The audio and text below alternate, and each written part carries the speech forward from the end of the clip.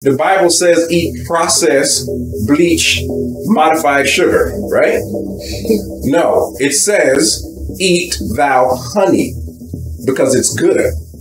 And the honeycomb, which is sweet to the taste. Why does the Bible tell you to eat honey? Because honey is natural. The Bible will never tell you to eat something unnatural. Why, why does our people rule the world for getting our foot cut off? What race has the highest blood pressure? Highest cholesterol. Who, who in our race doesn't know somebody in their family that's on insulin?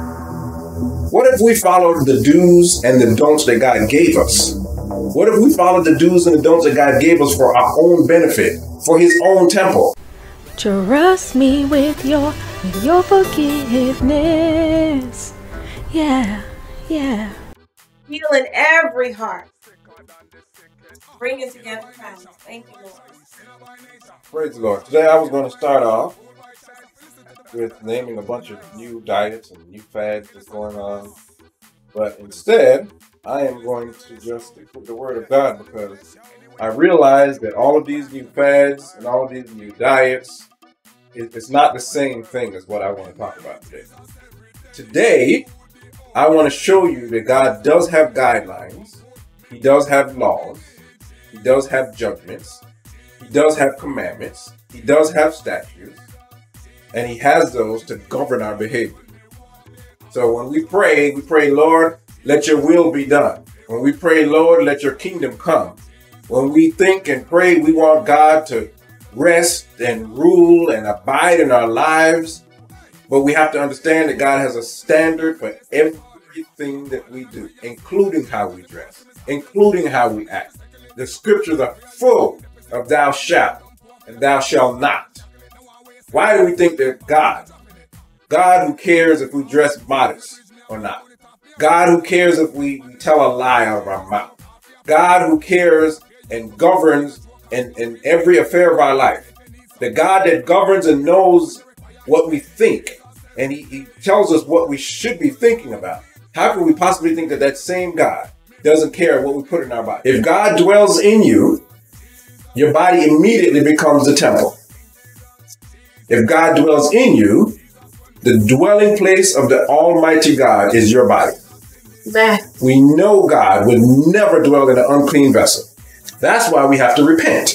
That's why we have to allow the blood of Yeshua and the word of God to cleanse us spiritually. But what about the outside? If you don't take care of the temple, your spirit and your soul will not have a place to live. So then, where will the Lord dwell? If you don't take care of the temple, where will the Lord dwell? 1 Corinthians 6 19 clearly tells you your body doesn't belong to you. It starts off by asking a question as if you should know this already. It says, What? Know you not? Don't you know that your body is the temple of the Holy Ghost, which is in you, which ye have of God? And you are not your own. He's asking, don't you know you are not your own? That your body doesn't belong to you? Your body does not belong to you. It is the dwelling place of God. We need to take care of it, not just to the best of our ability only, but we need to match the instructions for this machine we live in. God's commandments are not grievous. God's commandments are not hard. It's actually easy, pretty easy especially concerning what we put in our bodies and what we do with it. Those are easy. God wants us to be happy. Did you know it's actually beneficial to eat with family and friends? That's why there's a commandment for us to break bread when we fellowship. Not just fellowship, but God commands us to break bread. God does not want us eating nasty, bland food. How would that make you happy? If that's God's design for you to eat food that you don't even like. Jeremiah 7 3 says, Thus said the Lord of hosts, the God of Israel, amend your ways and your doings, and I will cause you to dwell in this place. There are some things we can do differently. There are some things we can do differently that has a huge benefit on your quality of life. Like, or such as not overeating and eating at the right time and the proper way to prepare your meals. These are things that we can easily change and adjust in a man. We learn from Proverbs that pleasant words are as a honeycomb. It's sweet to your soul and health to the bones. And merry and a merry heart is like medicine. But a non-merry heart dries your bones. That's why you should create a happy atmosphere with your dinner in your own home. So stop eating on the couch in front of the TV. Get your kids off their, their devices and find out how their day went. Sit down with your family, enjoy a few minutes, a nice good 30 minutes or a good hour. If you live alone, then, then you can start a video chat with one of your family members while you're eating. See if you can ask them, hey, we're going to eat together at 7 o'clock. I'm so glad that I don't have to talk about substance abuse today because we know that destroys your body. We know that shortens your lifespan. We know that destroys your quality of life. We know that foreign objects will destroy your body. There was one time when I put uh, kerosene in my car on accident, and it ran, but it ran like a lawnmower. But it still started up every day, and it still ran, but it ran horribly. So you you can abuse your body with unhealthy things today. But what about the long term effects? See, there, there aren't any conclusive concrete studies that show vegetarians live longer, but the Bible is clear that God wants us to eat properly. He wants us to eat properly prepared meat. All right? Romans 14, 3 says, Let not him that eateth despise him that eateth not, and let not him which eateth, not judge him that eateth, for God has received him. So the scriptures are clear that we shouldn't be trying to make a meat eater feel bad or judge a vegetarian if that's their choice or if that's their doctor's recommendation. But the Bible does allow for you to eat meat if you eat it properly. But even if you are a meat eater, I think we can all agree to increase the green stuff in our life. And I know we don't want to do it. I don't like vegetables either, but we, we need it. We can all use more fruits and vegetables. Post pandemic, we can all see the importance of a stronger immune system, especially in America. We can all benefit. We can all benefit from choosing a, a little bit better when we go to the grocery store. We can go for the organic option. It costs a little bit more, but what exactly? I need to know what exactly does pesticide, and we don't know which pesticide is on which fruit, but I need to know exactly what does that particular pesticide on that particular fruit do to your body. When you deal with biblical principles, you notice the contrast in worldly principles. They never, they almost never work. And they often, almost all the time, include what becomes social norms. So, for example, if you vacuum it out your car and you find a french fry in your car under the seat, and you realize, you know what, I haven't been to McDonald's in three months. How is that french fry in pristine condition?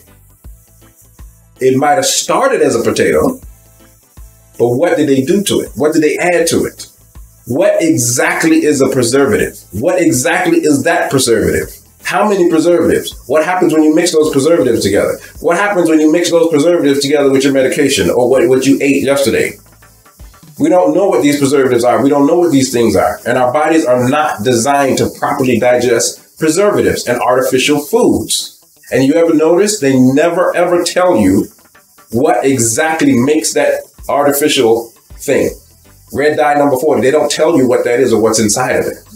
But what, what you what you do know, or what we should know, if you look up what artificial means, it means not real. It means this food is not real. Your body is designed for food. So that's why organic is, is the best option. It also is the best option to avoid GMOs. So there were some studies, you can look these up now. There's some studies where squirrels won't even eat the GMO corn. They prefer the natural corn. You see, even animals know better. That's why animals smell their food first. Because if it doesn't smell natural, they'd rather just go hungry. That's why we should eat what God created. That's why we should eat natural foods. That's why we should avoid natural, uh, unnatural flavors. That's why we should avoid artificial flavors. Do you know the qualification for artificial flavor? The qualification for something that's an artificial flavor is it cannot have anything natural in it. It cannot be natural. It cannot have any natural ingredients. That's the qualification for, for artificial flavors that we're putting in our bodies. And it's actually not hard to eliminate uh, artificial flavors from your diet because my family's been doing it for years. It's not hard at all. Have you ever looked, if you don't, if you have a moment, take a moment and look up the ingredients for things like cereal in the U.S. compared to other countries. So go get your favorite cereal and look at the ingredients on the box. Go online, or you can do both online and look up the ingredients for that same cereal in the UK or Australia or other countries, and tell me why there's 50 ingredients compared to maybe five ingredients in the uh, in the next in another country. What what are these things? These are the words that we can't even pronounce. The Bible says eat processed, bleach, modified sugar, right? No, it says eat thou honey because it's good. And the honeycomb, which is sweet to the taste. Why does the Bible tell you to eat honey? Because honey is natural. The Bible will never tell you to eat something unnatural. Why, why does our people rule the world for getting our foot cut off? What race has the highest blood pressure, highest cholesterol? Who, who in our race doesn't know somebody in their family that's on insulin? What if we followed the do's and the don'ts that God gave us? What if we followed the do's and the don'ts that God gave us for our own benefit, for his own temple? What's for dinner tonight? Hamburger, french fries at 10 o'clock at night. Then you go to bed. Then you call your pastor and ask him to pray for you because you got high blood pressure. Then you come down to the altar and ask him prayer because your cholesterol is up, the sugar is down.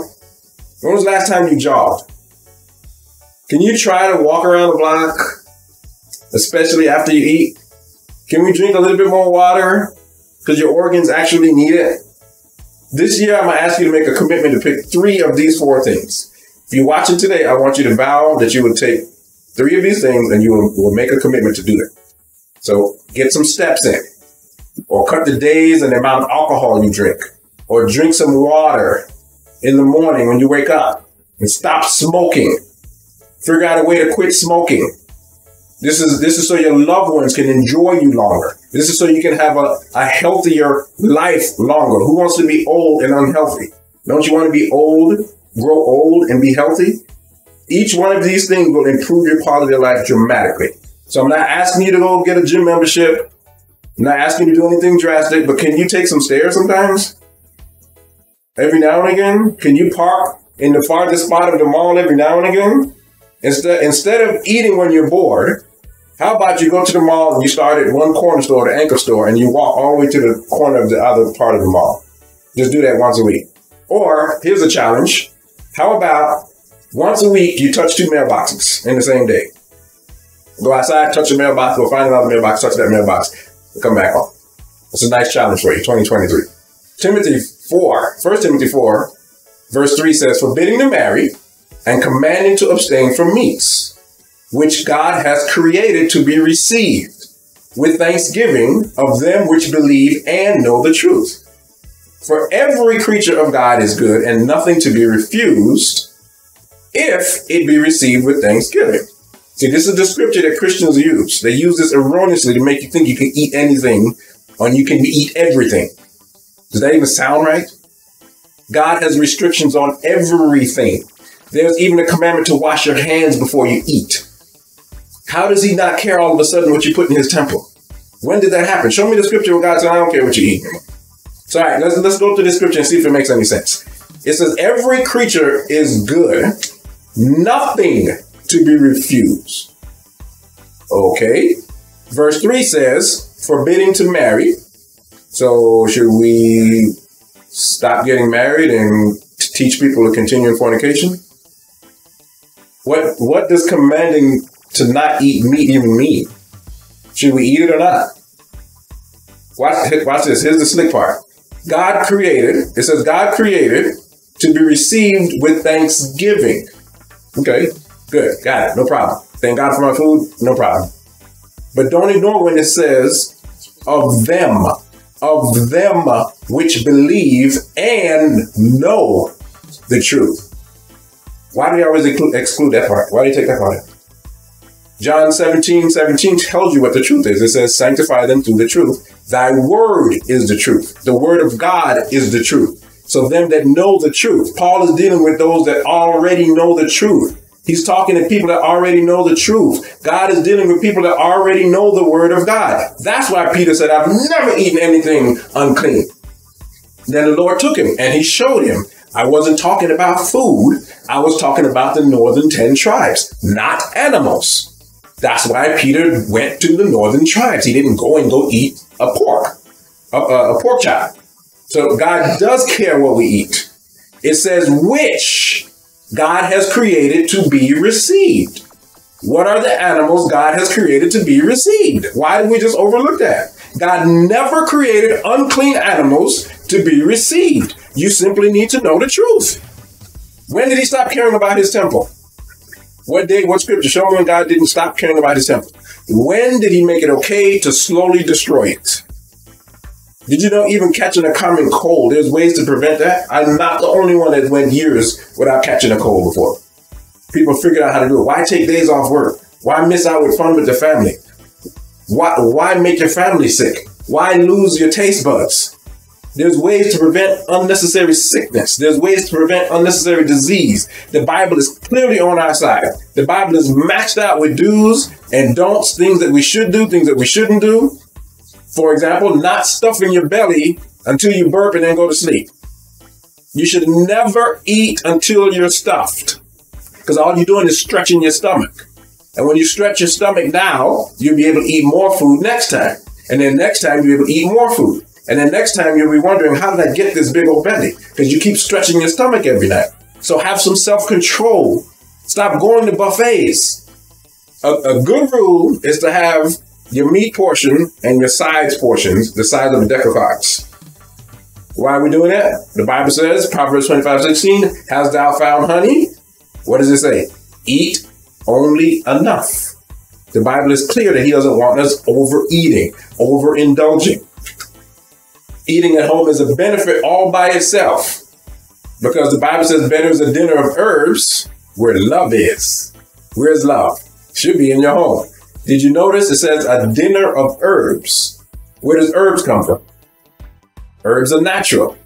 Does God want us eating artificial food or does he want us eating natural herbs?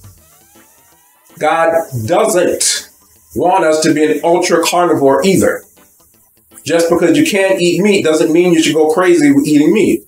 There should be some variety on your plate. And you don't have to be a nutritional expert. But why get a big slab of ribs, a full slab of ribs, with a, with a side of barbecue drumsticks and, and a thigh and a hot dog? What's wrong with what's wrong with having a little salad for dinner every now and again? The Bible says in Ecclesiasticus 30, is that 37, 29? The Bible says, don't be greedy with meats. The Bible says, don't hang out with wine bibbers or, or with right, righteous eaters of the flesh. God doesn't want you to exercise not having self-control. God wants you to be in control. God wants you to be in control of what you put in your body, should I say. God wants you to exercise self-control. Be in control of yourself. If you cannot limit yourself, for example, to a small glass of wine every now and again, then don't drink at all. It's not for you.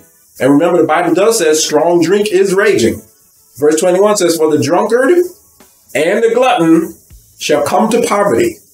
And you know, gluttony is one of the seven deadly sins.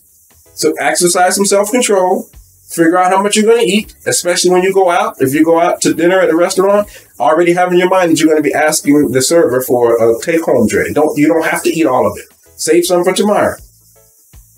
And whoever said that you have to eat three times a day? Where did that come from? Is that the Bible? And Moses said, This shall be when the Lord shall give you in the evening meat to eat, and in the morning bread. Oh, by the way, the next scripture says, uh, your murmurings aren't against us. The murmurs aren't against the man of God, but your murmuring, your complaining is against the Lord. I'm just throwing it. Now they are they're showing they they're people who have figured out there's uh, smart people, scientists and doctors and nutritionists. They figured out that it's a benefit for intermittent fasting.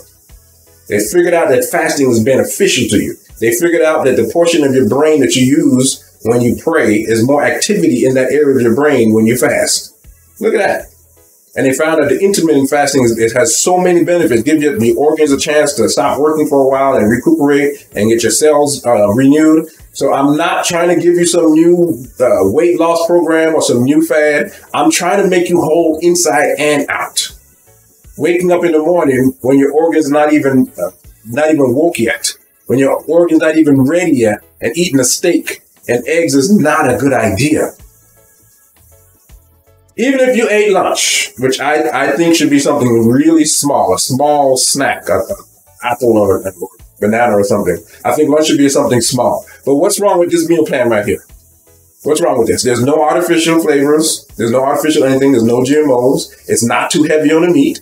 It's got a good mixture of fruit and vegetables and protein. You don't have to eat exactly this, but this is just an example. What if you just ate that? Even if you took the lunch out and replaced it with those fruit, what, what's wrong with eating something like that?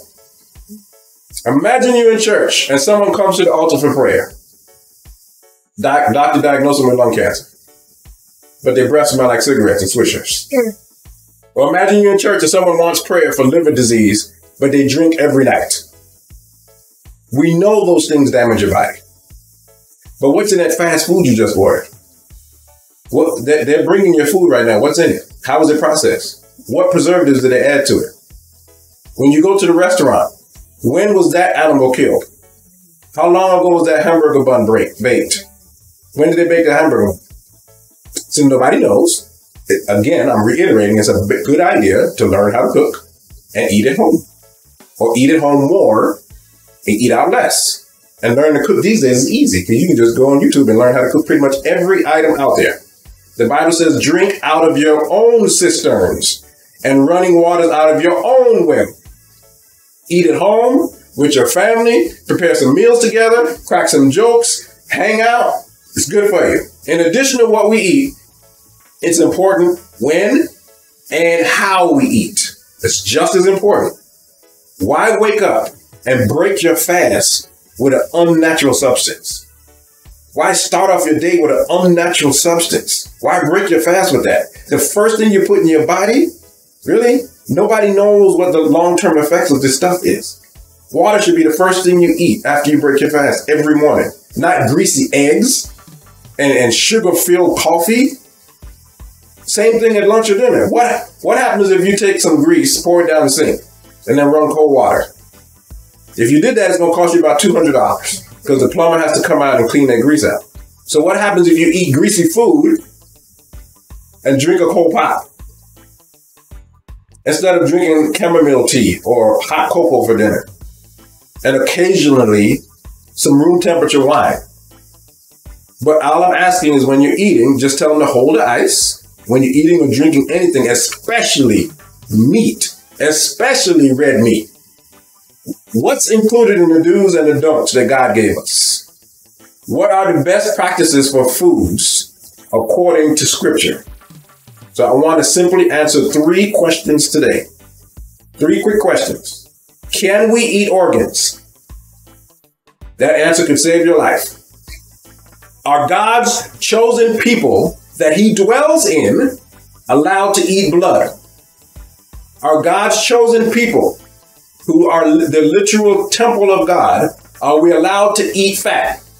All right, let's start with that. Leviticus 3 7, 317 says, It shall be a perpetual, perpetual statute for your generations throughout all your dwellings, that you eat neither fat nor blood. When does the word perpetual mean? Okay, you can do it today. Perpetual means forever.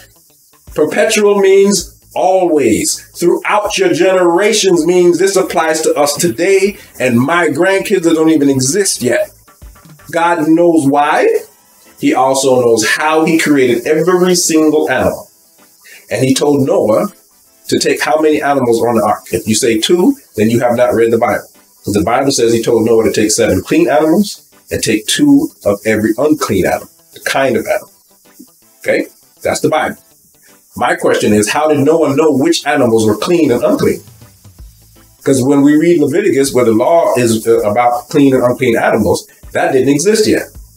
The scriptures about which animals not to eat came way later by Moses, who wasn't even born yet.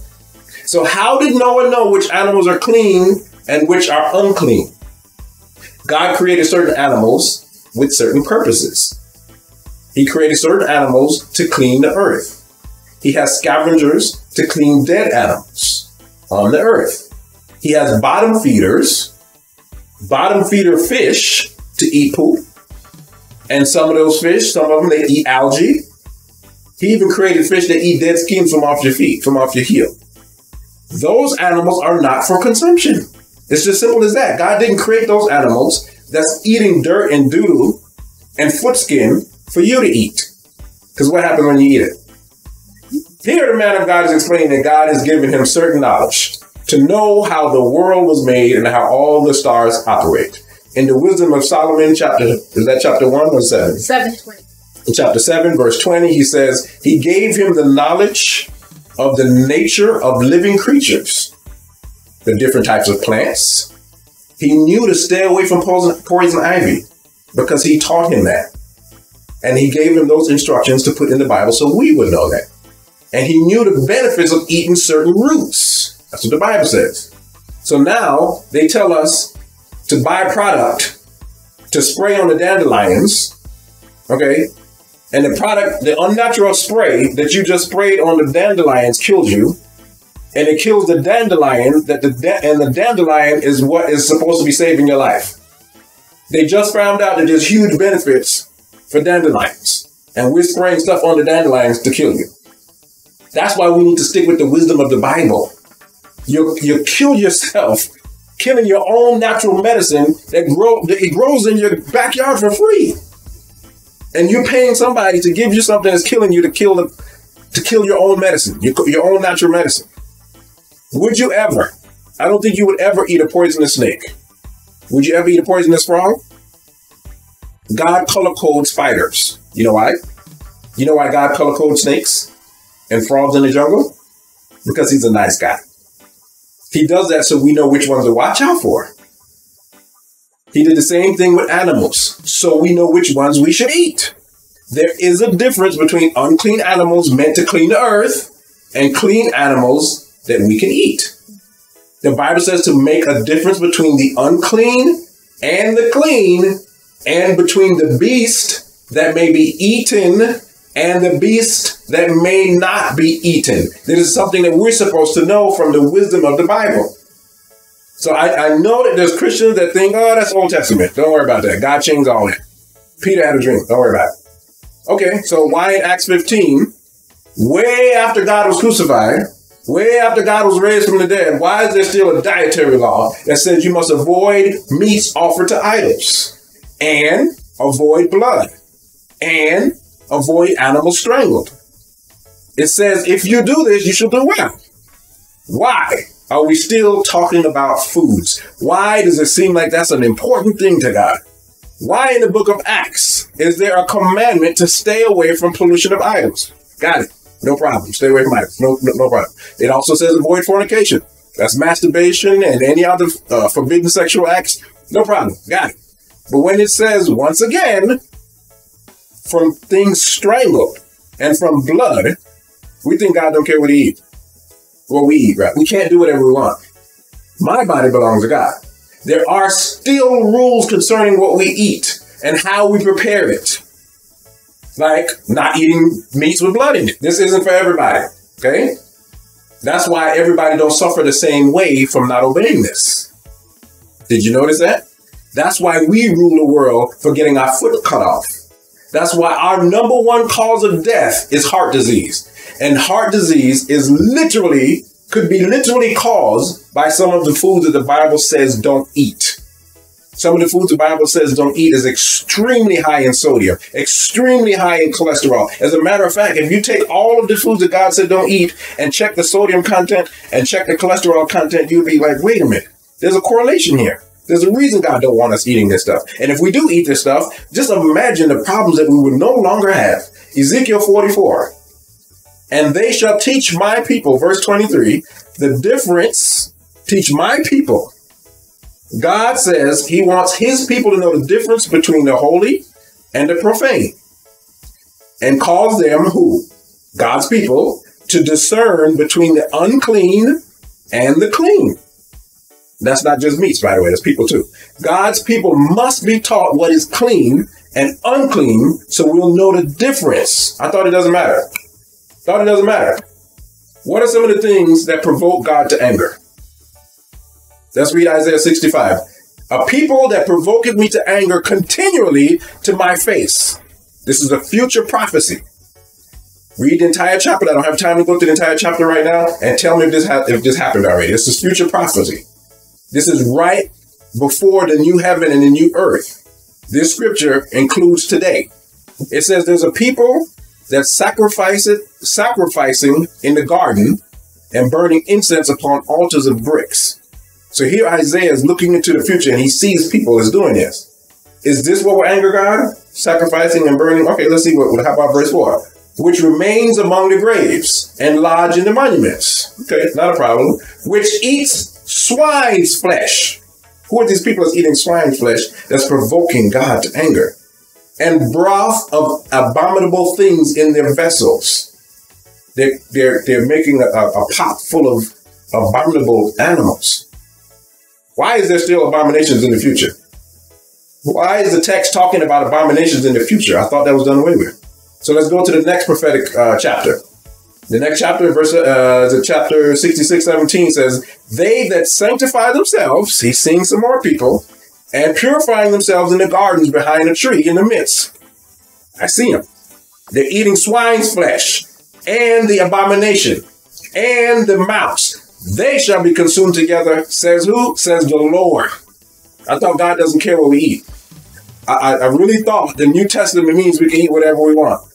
Okay, so why is there a judgment for those eating swine flesh and mouse? Because there's a commandment not to do it. Why is there still such a thing as an abomination in the future? This is the prophet Isaiah telling you what's going to happen. And I know, I know everybody won't make amendments to their diet. I know that, or the scripture wouldn't exist. But as for me and my house, we're going to serve the Lord. Read verse 15. It literally says this is going to happen when the Lord returns with fire and anger and a whirlwind. Has that happened yet? No. This is future tense. This is a future prophecy. How do you disobey the word of God to the glory of God? How do you do that? How do you obey the word of God to the glory of God? You just follow the scriptures. It says, whether therefore you eat or drink. Why is it still talking about food? Why does God even care about what we eat or drink? He says, whether therefore you eat or drink or whatsoever you do, do all to the glory of God. So I have a question. How do you eat or drink so God gets the glory? You obey his word. You don't say grace over abominations. You learn the difference between clean and unclean. And you thank God for the knowledge and, and you thank God for caring about our health. How are you going to bless a mess? How are you going to bless an abomination? Have you ever seen a label that says grass fed pork? You've never seen that. You only see grass fed beef, you'll see uh, grass fed lamb, or goat because these animals generally these animals generally eat grass exclusively. Okay? That cow can take that grass, pass it through four stomachs before making a substance called manure that works great, wonderfully on plants. Okay? You know which animal you cannot use their manure for plants? God labeled clean animals just like he did those poisonous spiders and poisonous frogs, so we know not to eat them animals with cloven hoofs. He he color coded the, the, spider. He made a, a, clear distinction on which ones you can go near. He's making a clear distinction on which animals you can eat. The ones that eat grass exclusively, and the ones that eat it in a certain way. The ones that chew the cud. The ones that regurgitate it and chew it again and put it in another stomach. Those are the ones that you can eat. Those are the ones that are healthy. Those are the ones that's not an abomination. God has a special people and that's who I'm talking to today. He designed a poisonous frog a certain way. He designed his chosen people a certain way. Our bodies are made a certain way. And we need to recognize he's not trying to ruin our lives, but he's trying to protect us. Deuteronomy says, You shall not eat of anything that died by itself. You can give it, it says, shall. You shall give it to the stranger that's in your gates, that they can eat it or they may sell it, or you may sell it to an alien. Because you are a holy people unto the Lord thy God. So God tells you clearly not to eat animals that died on its own, but then he shows you that you, child of God, are special. God calls you holy. If you are holy, there are things you simply don't do. I know people are, are deep into zodiac signs, but that's not today's lesson. I'm not talking about that today. Today, I want to show you the wisdom that's found in the Bible. The wisdom that's found in Leviticus 19 says, You shall not eat anything with the blood. Who's he talking to? God's chosen people. Neither shall you use enchantments, nor observe times. So if you're going to throw this scripture out, then it's okay to practice fortune telling and witchcraft, right? Do whatever you want. Eat whatever you want. You have free will. But if the Bible says don't do it, I'd rather be dead wrong and not eat blood or unclean animals. Look at what we're talking about. Look at what we're discussing. We have to challenge people not to eat blood. We have to challenge people not to eat unclean animals and fat. We have to challenge people not to eat animals that drop dead and you even know what killed it. You see how far we've gotten away from God's natural design? That our minds are twisted and certain things that should just be naturally make sense. Leviticus 9, uh, chapter 9, verse 10. This is my third, this is the answer to my third question. But the fat and the kidneys, organ, and the fatty part of, that's above the liver, organ, or the, of the sin offering, he burnt it upon the altar. He did not eat it as the Lord commanded. Who commanded? The Lord commanded. So I want to thank Deacon Sicarii because I did not know that uh, a polar bear liver can kill you. I did not know that. I had to look that up and I'm like, I, I just shocked. It's so toxic that one ounce of it will take you out. So if you're stranded on a, on a, if we're both stranded on an island, for example, and the island only has uh, polar bears, you know, I, I would live because I vow to follow the word of God. If you don't have the wisdom of the word and you eat that liver, praise the Lord. We actually have a meal plan that we use monthly. If you'd like to join us in, in, preparation or if you want some biblical recipe ideas, let us know. I'm so glad you watched this video. It's okay if I, is it okay if I teach sometimes? Is it okay if I try to help the total man and offer a well-rounded ministry that benefits God's people? Click like for me. Click like. Go ahead. Click like if this was a benefit to you. I'm trying. I'm tired of seeing God's people sick, struggling, and suffering, especially when there's simple things that we can do, simple changes that we can make. Can you vow to make some simple adjustments? Even if you just vow to start your day with a glass of water. Just do that. Just do one of the three things, one of the four things. Do three of the four things would be great. But if you can just do one, that'd be perfect. So stay tuned next Friday. I got a powerful message. I need y'all prayers. Um, YouTube will display a notify me button. So go ahead and click that notify me button so you'll be notified when we go live. And please subscribe if you haven't already. Thank you all for coming, praise